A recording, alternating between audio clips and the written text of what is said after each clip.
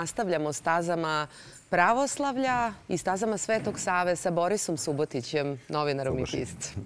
Mislim da nam je malo ovaj, koliko smo vremena odljadili za ovaj razgovor. Sad smo počeli da pričamo... Bar prema kilometraži, jel? Boris Subašić, dobrodošli, Boris. Ovaj, e, Hristos Vaskrese, Hristos Anesti, kako bi rekli svaki dan na Svetoj gori. Tamo je svaki dan Vaskrs. I svaki dan se pozdravljaju sa Hristosa Nesti. Idete kroz šumu, vidite monaka i on Hristosa Nesti, Hristosa. Hajde sad ti predstavi gosta i ono pitanje koje si rekla prvo da nastavimo tim... Od staza Svetosablja i kako ste nam rekli, Borise, kad smo se dogovarali za ovo vaskršnje druženje od Hilandara i Simeona i Svetog Save, to je tada bilo lansiranje jednog istorijskog autoputa za Srbiju. E, jeste. Evo ovako je to išlo. E, video sam ja da je Sveti Sava nešto važan za nas. Ne mnogo. Pa rekao da upoznam čoveka. Teško je upoznati čovjeka posle nekih osam vekova i ostavio nam je dva žiti, odnosno njegovi učenici i nekoliko fresaka. Šta mi znamo o njemu? A mene je strašno zanimao taj Kir Sava, kako su ga zvali celog života. To bi bilo, pošto je nama bliska anglosaksonska kultura danas, Lord Sava. Ko je taj Lord Sava? Prešao hiljade kilometra. I krenem ja za njim. Gde? Pa prvo po našoj Svetoj gori e, i dolinom Kraljeva Ibra, znači Studenica, Žiča i naravno moram posle toga na Svetu goru. Dođem na Svetu goru i pričam ja sa ljudima koji znaju više od mene. I kaže, meni profesor Vlada Stanković, jedan od naših najvećih medijavista, kaže, slušaj, Nemanja i Sava, kad su napravili Hilandar tamo, oni su nas sa jednog sporednog puta istorije stavili na autoput istorije. Jer šta se to desilo kad je napravljen Hilandar, Sveta Srpska carska lavra, prvi slovenski manastir na toj svetoj zemlji Svete Gore? Pa to znači da smo tad ušli u Ujedinjene nacije. Ono što su danas Ujedinjene nacije, e, to je tad bila Sveta Gora. Kad imaš, Rusi nisu imali. Imali su Jermeni, imali su neki Amalfićeni, to su iz Apeninskog polostreva, iz grada Amalfija, ali prvi Sloveni su bili Srbi. Zamisli i mi negde da budemo pre... Moramo mi da... Davno prošlo vreme.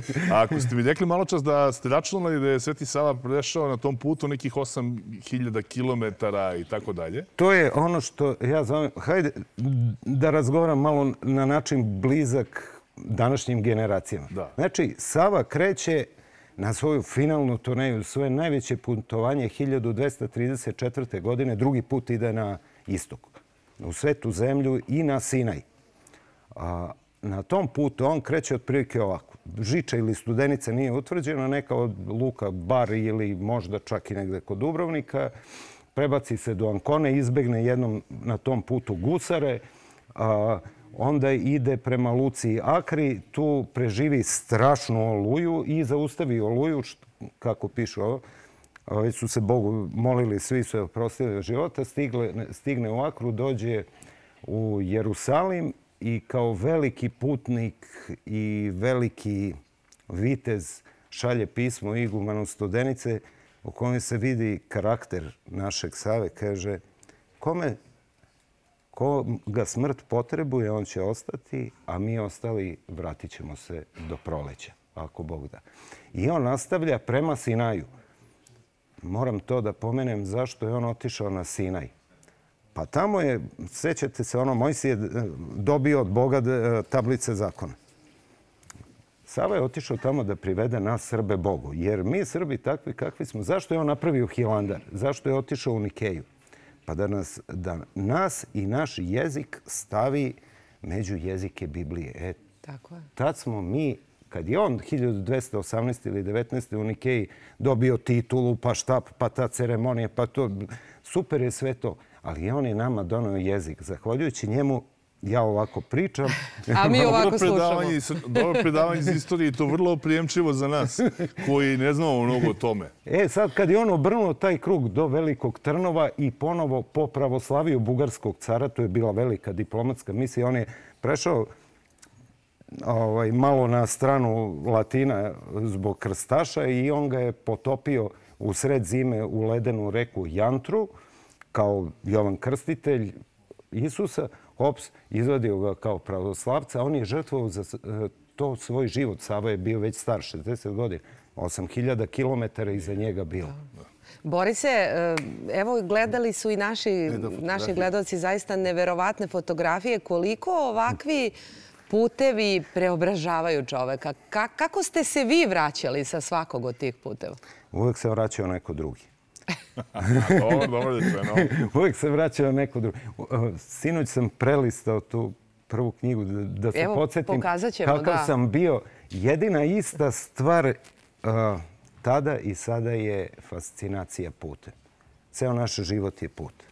I kako ovdje piše svako, svoj atos nosi u sebi. Jeste, to niko ne sme da poceni svoj put. Svačiji život je vredan. Nema ničeg svetijeg od života. Važno je na dašnji praznik da podsjetimo na to, jer kako kaže ona pesma Hristos Vaskrese i i smrću smrt pobedi. On je otkupio čovečanstvo mnogo pre Freuda, mnogo pre psihoanaliza. On je rekao, neojte da se sekirate, to nije kraj puta. Mi smo tu da pratimo svoj put. Ne tuđi, ne samo svoj. Svaki put je najbolji na sve.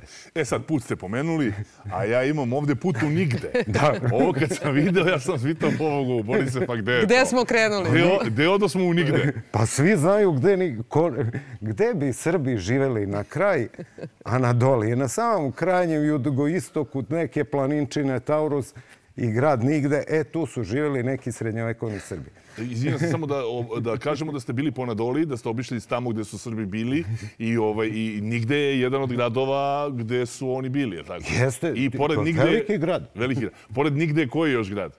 Bor. Bor. Bor. I šta ste mi rekli kako izgleda tamo i nigde i Bor i okoline one planine? To, pa, ako pogledate Prokletije i Taurus, prokleti izgledaju kao cvetna livada. Kao cvetna Pristupačna. Jeste. I sad na dva najvažnija vrha, tu nigde, vidite tu gde sedim na toj ivici. Da. E, e, tu su bili naši stražari. Dakle, Srbi su obično graničari civilizacija i nas su Vizantinci unajmili. Pogledajte, jel možete malo da, nam pričuvate granicu? I završimo mi tamo čitava dva veka.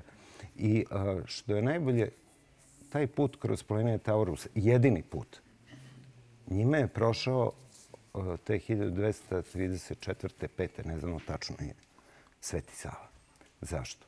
Išao je u Kapadokiju jer je iz Kapadokije, iz današnjeg grada Kajseri, tadašnje Cezareje, Sveti Sava osvećen i on je njegov duhovni uzor koji mu ostavio Bogorodicu Trojeručicu. I sad idem ja tim putem razno raznim prevozima i ima tu pored nigde, u stvari pripada nigde u jedan podzemni manastir. Kod da ste izvadili jedan kockasti kolač iz scene i unutra i podzemna crkva ogromna i u njoj Bogorodica Trojeručica. Kao ona Trojeručica, ona nije da je slikana u vreme kad je nastala crkva, bila bi u samom oltaru. Ona je sa strane u jednoj velikoj niši vrlo verovatno je naš Sava tamo ispričao i neko je rekao, neko je vidi, ajde da naslikam. Naravno, oni su naslikali Bogorodicu onako kako su se tamo žene oblače, znači u blisko istočne.